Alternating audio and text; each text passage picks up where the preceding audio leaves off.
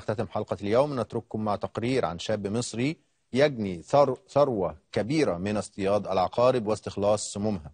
تصبحوا على خير.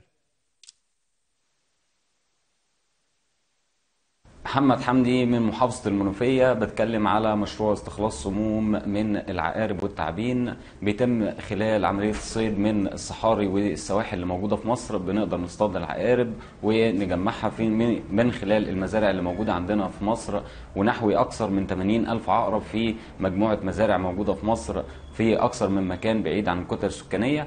بنستخلص السموم دي لأن ليها فوائد كبيرة جدا في الدخول في تصنيع ال vaccine أو المصل في حالة اللدغات اللي بيتعرض ليها مختلف الناس بنقدر إن إحنا نديله المصل وده بيكون المنتج الأول من استخدام السموم. دلوقتي هنعمل عملية استخلاص السموم أو extract ال venom من ال scorpion وده يعتبر أحد الأنواع المهمة أو أهم الأنواع اللي موجودة في الشرق الأوسط اسمه Leiurus quinquestriatus طبعا أنا باخد العقرب دلوقتي من الكادج الخاص بيه وبعد كده بمسكه بالطريقة دي إن أنا أتحكم في ال telson وحركته عشان توجيه السم أو نزول السم وببدأ إن أنا أحط مية بملح بتكون تركيز 10% بحطها على المراكز العصبية اللي موجودة في الفقرات بتاعة العقرب نفسه.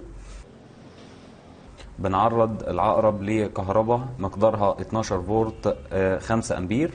ودي طبعا بتكون مجرد تحفيز كهربي للعقرب لإتمام عملية ال extract بالنسبة لل venom بالطريقة دي بنحط الموجب والسالب على أحد الفقرات أو ما بين الفقرة والثانيه ما بين الفقرة الأولى والثانيه والثانيه والثالثه مراكز العصبية الخاصة بالعقرب. بالطريقة دي بيخرج السم قدامنا.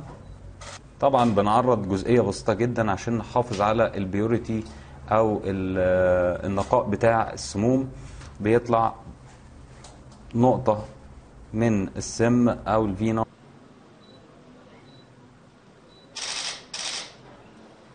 الجزء الثالث بتدخل في الأدوية وأكثر من 24 منتج دوائي بيتم تصنيعهم من سموم العقارب والتعابين على مستوى العالم كله.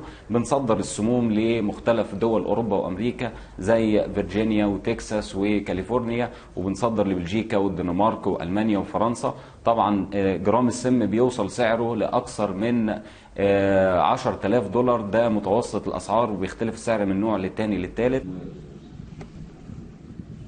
بالنسبة لطريقة صيد العقارب بنستخدم الأشعة فوق البنفسجية.